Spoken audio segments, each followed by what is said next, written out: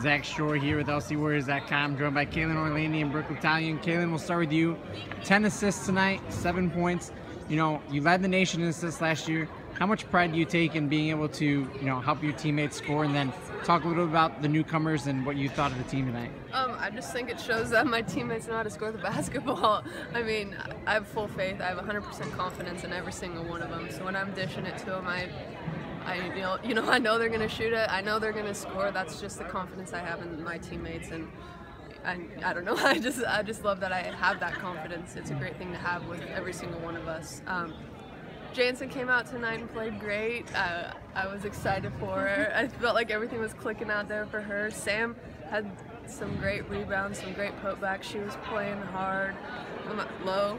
Lauren came in, flying around on defense, hitting threes. Shooting. Yeah, I think, I mean, it was great. I think it was a good start for them. I, I mean, we have a lot to do, we have a lot to build off of, but I think it was a great start. Uh, just keep improving, and I was proud of every single one of my then- teammates. You know, Brooke, talking about scoring, you had a career high 25 points tonight. You know, what was working for you offensively? And then, you know, what's it feel like to come out and get that first win?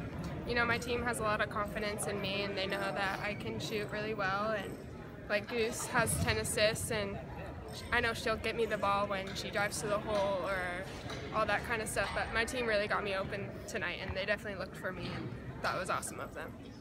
All right, well, congratulations, lady, and good luck tomorrow. Thank you.